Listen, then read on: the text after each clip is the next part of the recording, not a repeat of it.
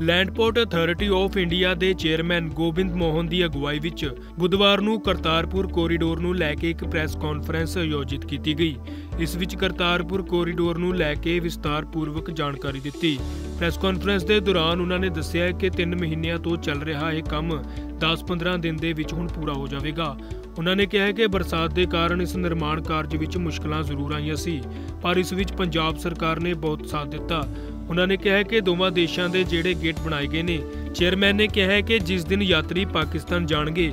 ਅਤੇ ਉਹਨਾਂ ਨੂੰ ਉਸੇ ਦਿਨ ਹੀ ਵਾਪਸ ਆਉਣਾ ਪਵੇਗਾ ਉਹਨਾਂ ਨੇ ਕਿਹਾ ਕਿ ਹਾਲ ਦੀ ਘੜੀ ਵਿੱਚ ਪਾਕਿਸਤਾਨ 5000 ਯਾਤਰੀ ਜਾਣਗੇ ਜਿਨ੍ਹਾਂ ਨੂੰ ਅਲੱਗ-ਅਲੱਗ ਜਥਿਆਂ ਵਿੱਚ ਭੇਜਿਆ ਜਾਵੇਗਾ ਅਤੇ ਭਾਰਤੀ ਸੀਮਾ ਤੋਂ ਪਾਰ ਜਾਣ ਵਾਲੇ ਯਾਤਰੀਆਂ ਦੀ ਜ਼ਿੰਮੇਵਾਰੀ पूरी तरह पाकिस्तान दी होगी प्रेस कॉन्फ्रेंस के दो तीन उद्देश्य थे पहला तो ये है कि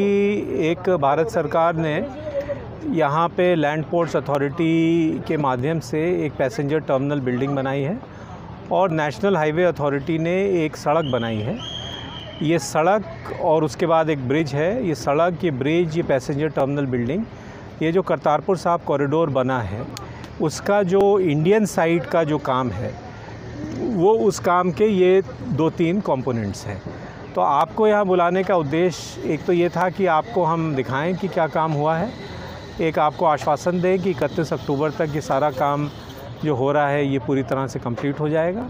और नवंबर में जब भी जो भी निर्णय होता है उसके अनुरूप यहाँ से जो भी जत्थे जाने हैं उस तरफ उनका आवागमन शुरू हो जाएगा ਸੋ ਹੁਣ ਉਮੀਦ ਕੀਤੀ ਜਾ ਸਕਦੀ ਹੈ ਕਿ ਜਲਦ ਹੀ ਸਿੱਖ ਸੰਗਤ ਦੇ ਦਰਸ਼ਨਾਂ ਲਈ ਇਹ ਕੋਰੀਡੋਰ ਖੋਲ ਦਿੱਤਾ ਜਾਵੇਗਾ ਅਤੇ ਗੁਰੂ ਨਾਨਕ ਨਾਮ ਲੈਵਾ ਸਿੱਖ ਸੰਗਤ ਕਰਤਾਰਪੁਰ ਸਾਹਿਬ ਦੇ ਦਰਸ਼ਨ ਕਰਨਗੀਆਂ ਗੁਰਦਾਸਪੁਰ ਤੋਂ ਨਿਤਨ ਲੁਥਰਾ ਦੀ ਰਿਪੋਰਟ ਡੇਲੀ ਪੋਸਟ ਪੰਜਾਬੀ